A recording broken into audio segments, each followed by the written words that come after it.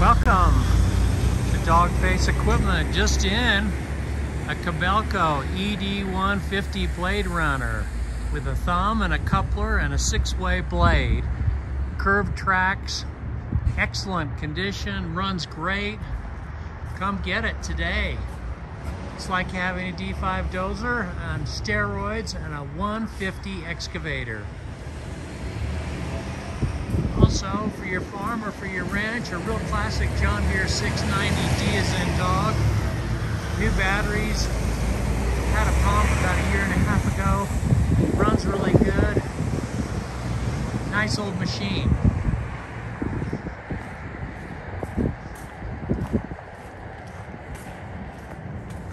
A couple of 300 custom made screening buckets, perfect for the upcoming summer if you want to make some topsoil. These will work awesome.